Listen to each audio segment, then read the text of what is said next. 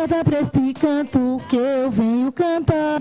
Venho te dizer, negra é hora de lutar. Como fez a rainha Dandara, negra nessa Luísa Maim. Unindo nossa etnia, na goqueto, jeje, marri. Sexismo, machismo e racismo estão presentes em nosso dia a dia. E na atualidade, a favela é nossa moradia. Negra alerta pra este canto que eu venho cantar. Venho te dizer, negra é hora de lutar. Como fez a rainha Dandara, negra Nastassi Luísa Maim unindo nossa etnia, na goqueto, cheio marrim. Sexismo, machismo e racismo estão presentes em nosso dia a dia. E na atualidade, a favela é nossa moradia.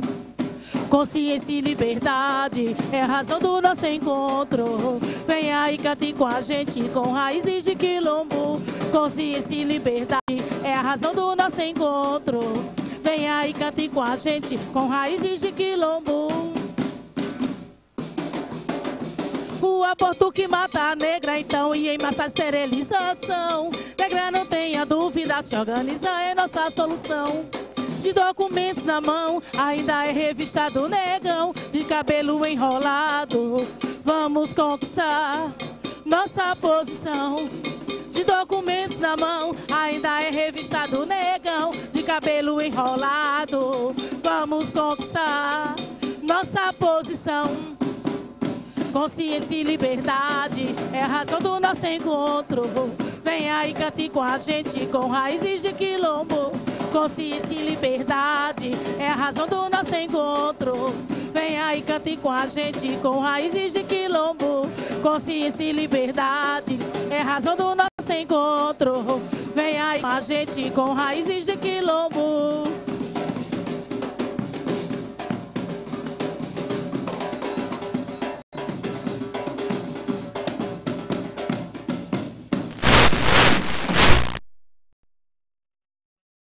Entrando no ar agora, Liberdade de Expressão na tela da TV Nova, canal. Boa noite, você que está entrando aí, curtindo a nossa programação. Hoje teremos um tema, vamos falar hoje, aqui no dia 27 de agosto, vamos conversar sobre a Lei 10639, uma lei sancionada no dia 9 de janeiro de 2003, que estabelece as diretrizes e bases da educação nacional para incluir no currículo oficial da rede de ensino a obrigatoriedade da temática histórica da cultura afro-brasileira brasileira. Estamos hoje trazendo pessoas e vamos bater um papo. Sentar logo aqui, ficar bem à vontade. Esse programa é Liberdade de Expressão. Entrou assim de uma maneira extraordinária hoje. A gente trouxe um grupo musical muito interessante, um, um som percussivo. Vamos falar, vamos bater um papo com ele, minha opinião dessa galera que está por aqui. E trouxemos os nossos convidados hoje, o doutor Jorge Arruda, ele que é assessor especial do governador Eduardo Campos, está aqui presente. Também coordenador do Fórum Intergovernamental Estadual de Pernambuco da Igualdade Racial. Trouxemos também a deputada estadual Tereza Leitão, presidente da Comissão de Educação da Assembleia Legislativa do Estado de Pernambuco, aqui também fazendo, se fazendo presente nos nossos estúdios, dando a honra, a satisfação de tê-la aqui no Liberdade de Expressão. Também a, a coordenadora, a professora, aliás, professora Eurenice Lima, da coordenação executiva do Observatório Negro e também a nossa querida Lúcia dos Prazeres, Prazeres, presidente do Centro de Educação Popular Maria da Conceição. Então, boa noite para você. O programa entrou assim meio assim atordoado, mas bem, deixa a poeira baixar, tudo certo. Está entrando lá a partir de agora o Liberdade de Expressão. Então, se liga porque o papo vai começar e você, claro, é convidado a participar. Então, queria pedir a nossa produção para começar logo colocando na tela o nosso telefone para que o nosso público comece a participar, o nosso e-mail, para que a gente faça um programa bem interativo, porque o Liberdade de Expressão acaba de entrar na tela da TV Nova, canal 22, afinal Pernambuco passa por aqui. Deixa eu começar é, abrindo esse tema para os nossos debatedores. Eu não, nunca digo que os nossos convidados são debatedores, porque aqui não é debate, aqui é um bate-papo bem descontraído. Eu já quero colocar que, assim, Sintam-se livres das convenções de televisão, se sintam em casa. É, se quiser perguntar um ao outro, interferir na fala um do outro. Aqui não tem essa formalidade, não. Um programa informal e a gente tem essa vontade de fazer um programa que tem realmente a cara do povo pernambucano, que expresse as coisas, não só pernambucano, brasileiro, universal, sem preconceitos. Bem, é, para a gente falar de um tema sobre essa questão da Lei 10639, uma lei que veio é, corrigir várias questões, que veio implantar é, na escola a, o ensino da cultura afro-brasileira, valorização é, de um povo que construiu essa nação. Eu queria apimentar logo já colocando para a gente dar as boas-vindas, já fazendo a pergunta para vocês, quem quiser falar, é o seguinte: a gente vive num país hipócrita, onde tudo é bonitinho na, na lei, tudo é bonitinho na Constituição. Todo mundo tem direito à casa, todo mundo tem direito à saúde, todo mundo tem educação. Mas na realidade, na prática, a gente vê que a realidade não é bem assim. Não poderia ser diferente com a lei 10639, que entrou em vigor em 2003, mas que já estamos em 2007 e a gente é, enfim, não vê realmente uma escola, não só a escola pública, mas também a escola privada, ainda valorizando a cultura afro-brasileira. Enfim, eu queria abrir o microfone, possa é, falar um pouco dessa lei, a que ela veio e como ela pode se efetivar na prática. Então o microfone está aberto para vocês darem as boas-vindas. Enfim, vamos começar a debater esse tema. Fique à vontade, o microfone está aberto. Quem quiser falar, o microfone, para que a gente não entre com assim, essa coisa de hierarquização, primeiro, segundo, o microfone está franqueado e o, micro, e o programa é livre. Então, vamos começar pela deputada Tereza. Afinal de contas, ela é presidente da comissão, né? Comissão é, de, educação. Da, de Educação da Assembleia Legislativa, um órgão muito importante. Fique é, à vontade. Boa noite, Miguel. Boa noite aos telespectadores. Boa noite aos demais convidados. Eu acho que você toca num ponto, Miguel, muito importante para nós legisladores. Uma lei, ela não, não é capaz de sozinha ela chegar na, na prática. Primeiro, para ela acontecer, ela precisa de uma carga de legitimidade muito grande. Esta lei, eu acho que ela teve essa carga de legitimidade na hora em que ela não nasceu da cabeça iluminada do legislador. Nesse caso, foi uma lei de iniciativa do Poder Executivo, do presidente Lula, que reformulou a LDB.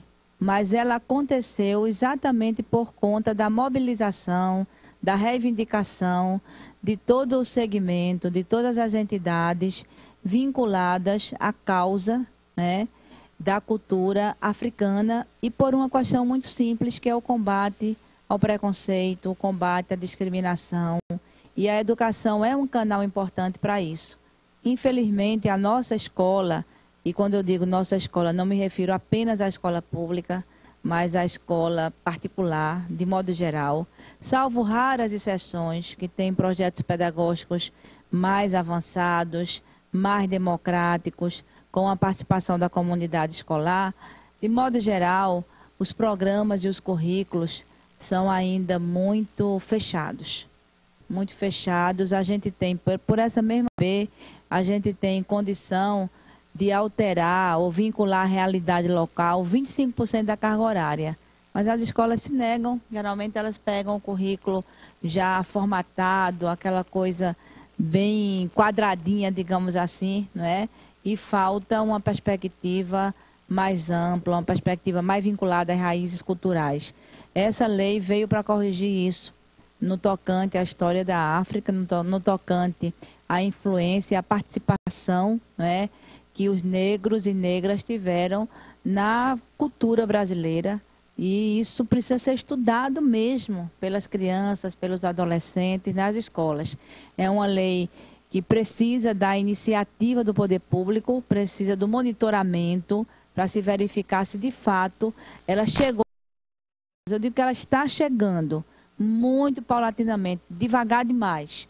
E por isso é importante que a gente né, se posicione para que possamos ampliar a prática não é, e a implementação dessa lei. Legal, deputado. Deixa eu fazer uma pergunta para a professora Aurenice Lima, ela que é da coordenação executiva do Observatório Negro.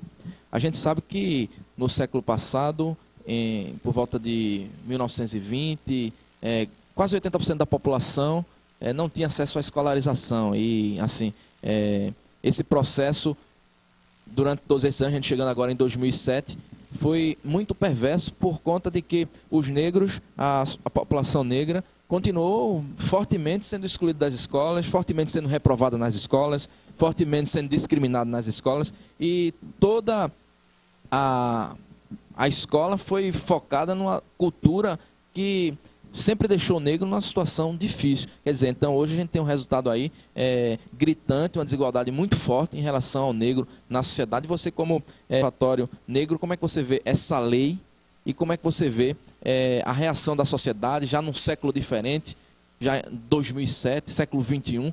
Como é que o negro reage a tudo isso? Como é que é a situação do negro? Como é que você observa essa lei e a sociedade em relação a esse recorte, em relação a essa questão racial? São perguntas muito difíceis. Fique à vontade, o microfone está aberto. Bom, em primeiro lugar, como a deputada citou, né, a Lei 10.639 ela é fruto de várias pessoas, de várias entidades dos movimentos negros, né, que durante muito tempo brigou, lutou para a elaboração da lei e para que ela fosse aprovada pelo Executivo. Isso aconteceu realmente no ano 2003. De lá para cá, aí é que é a questão. O que tem acontecido de efetivo no Brasil e, mais concretamente, no estado de Pernambuco, para a implementação da lei. Né? Temos a experiência de Goiânia, que fica aqui a poucos quilômetros do Recife, onde foi implantado, a partir do ano 2003 até 2004, o primeiro curso de especialização sobre história da África. Né? Foi uma parceria de uma entidade negra chamada de Jumbai, e naquela época eu tive a oportunidade, né, uma grande oportunidade para mim, de coordenar aquele curso.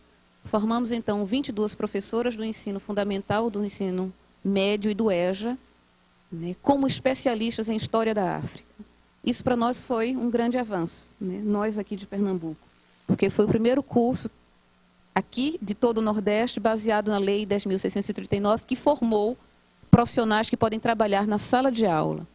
Né? Foi uma reformulação da história do Brasil, que nós fizemos em sala de aula, mas também foi uma reformulação das relações raciais que se tem em sala de aula. O racismo acontece na sala de aula, sim.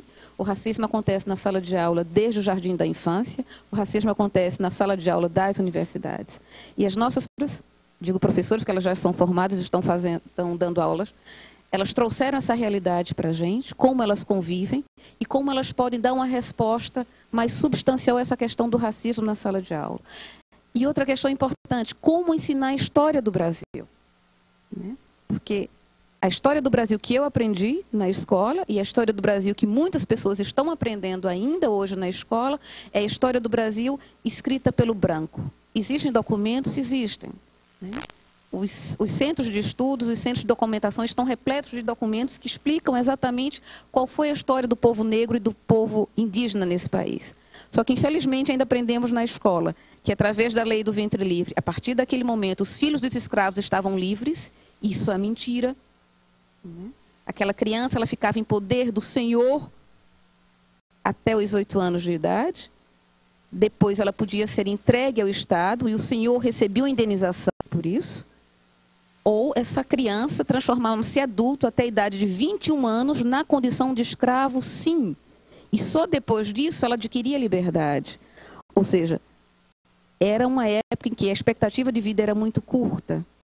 Ou seja, aquela criança que, para nós, o que aprendemos na escola, estava livre a partir do parto, não, ela continuava na condição de escrava o maior período da sua vida. A lei de sexagenário, que aprendemos era que a partir dos 60 anos o escravo estaria livre. É uma mentira.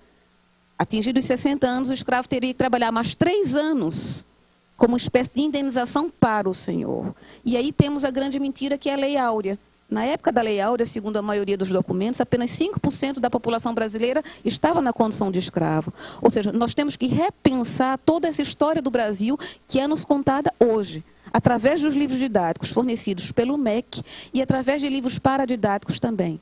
Ou seja, nós temos que sermos não só como os negros, mas temos que reconstruir a história do Brasil baseado em fatos, esses são apenas alguns deles, que até hoje, até o momento, eles foram escamoteados, eles foram negados da nossa sala de aula e dos nossos livros.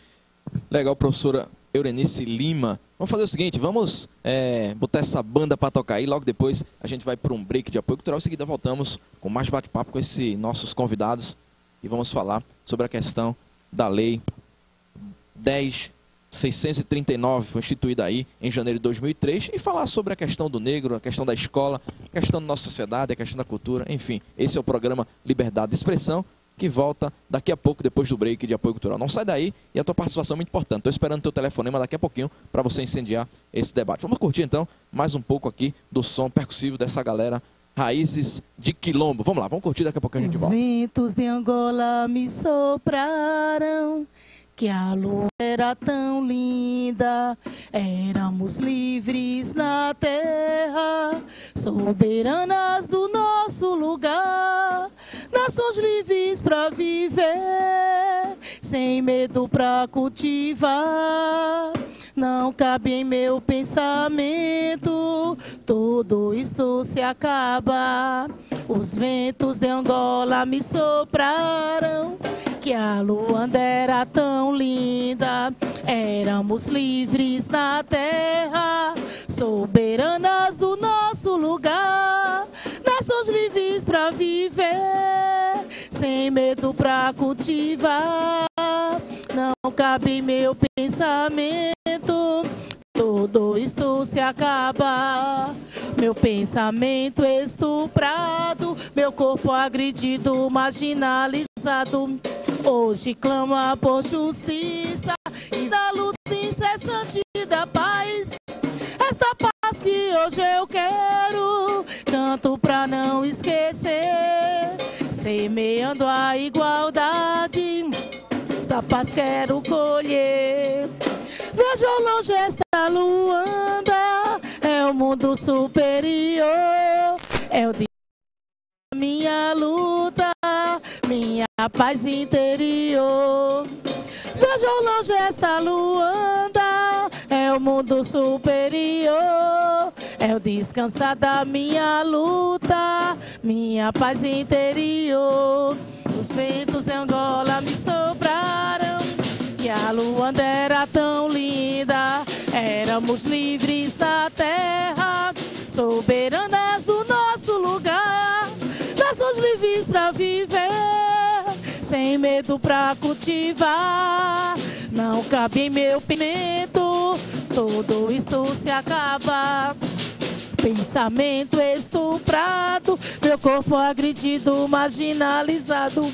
Hoje clama por justiça e vive na luta incessante da paz. Esta paz que hoje.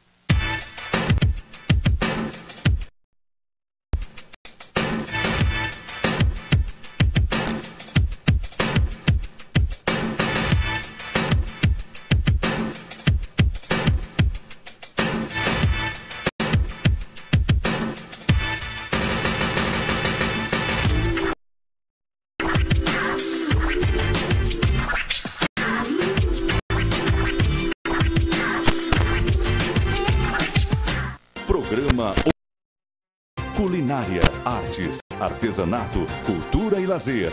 Um programa que mostra que a mulher conquistou o seu espaço em casa, no trabalho. Lugar. Programa O de Casa, com a pro- Era Fernandes, nesta terça, às sete e meia da noite. TV Nova, Canal 22. Pernambuco passa por aqui. Entregue-se às delícias do melhor restaurante de Olinda, estilos carnes nobres. Ambiente diferenciado, atendimento VIP, os melhores pratos, as carnes mais nobres com a cozinha nacional e internacional. Estilos carnes nobres, Avenida Beira Mar, Olinda. Venha saborear